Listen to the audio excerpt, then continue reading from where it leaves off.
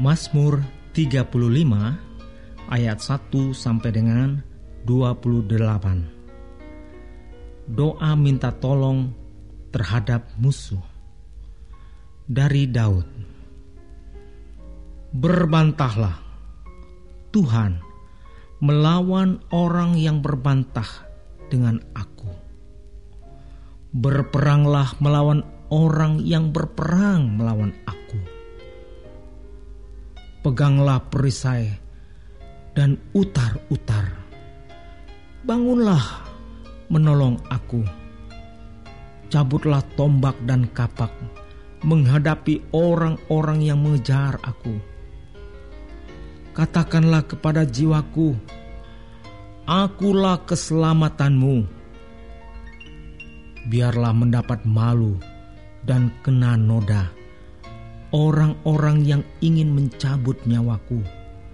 Biarlah mundur dan tersipu-sipu orang-orang yang merancang kecelakaanku.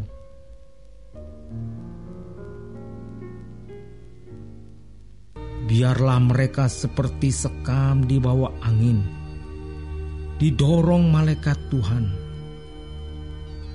Biarlah jalan mereka gelap dan licin dan malaikat Tuhan mengejar mereka. Karena tanpa alasan mereka memasang jaring terhadap aku. Tanpa alasan mereka menggali pelubang untuk nyawaku. Biarlah kebinasaan mendatangi dia dengan tidak disangka-sangka. Jerat yang dipasangnya biarlah menangkap dia sendiri biarlah ia jatuh dan musnah. Tetapi aku bersorak-sorak karena Tuhan. Aku girang karena keselamatan daripadanya. Segala tulangku berkata, Ya Tuhan, siapakah yang seperti Engkau yang melepaskan orang sengsara dari tangan orang yang lebih kuat daripadanya. Orang sengsara dan miskin dari tangan orang yang merampasi dia. Saksi-saksi yang gemar kekerasan bangkit berdiri. Apa yang tidak ku ketahui, itulah yang mereka tuntut daripadaku. Mereka membalas kebaikanku dengan kejahatan Perasaan bulus mencekam aku. Tetapi aku, ketika mereka sakit, aku memakai pakaian kabung. Aku menyiksa diriku dengan berpuasa. Dan doaku kembali timbul dalam dadaku. Seolah-olah temanku atau saudarakulah yang sakit. Demikianlah aku berlaku seperti orang yang berkeluh kesah karena kematian ibu. Demikianlah aku tunduk dengan pakaian kabung. Tetapi ketika aku tersandung jatuh, bersukacitalah mereka dan berkerumun.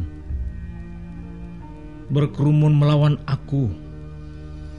Orang-orang asing yang tidak kukenal menista aku dengan tidak henti-hentinya dengan fasik mereka mengolok-olok terus, menggertakkan giginya terhadap aku. Sampai berapa lama Tuhan Engkau memandangi saja?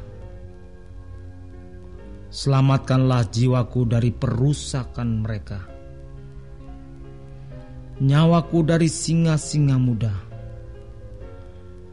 Aku mau menyanyikan syukur kepadamu dalam jemaah yang besar. Di tengah-tengah rakyat yang banyak, aku mau memuji-muji engkau. Janganlah sekali-kali bersuka cita atas aku, orang-orang yang memusuhi aku tanpa sebab, atau mengedip-ngedipkan mata orang-orang yang membenci aku tanpa alasan karena mereka tidak membicarakan damai. Dan terhadap orang-orang yang rukun di negeri mereka merancangkan penipuan. Mereka membuka mulutnya lebar-lebar terhadap aku dan berkata, "Syukur, syukur." Mata kami telah melihatnya. Engkau telah melihatnya, Tuhan. Janganlah berdiam diri. Ya Tuhan, janganlah jauh daripadaku. Terjagalah dan bangunlah membela hakku, membela perkaraku, ya Allahku dan Tuhanku. Hakimilah aku sesuai dengan keadilanmu, ya Tuhan Allahku. Supaya mereka jangan bersuka cita atasku. Janganlah mereka berkata dalam hatinya, syukur, itulah keinginan kami. Dan janganlah mereka berkata, kami telah menelannya.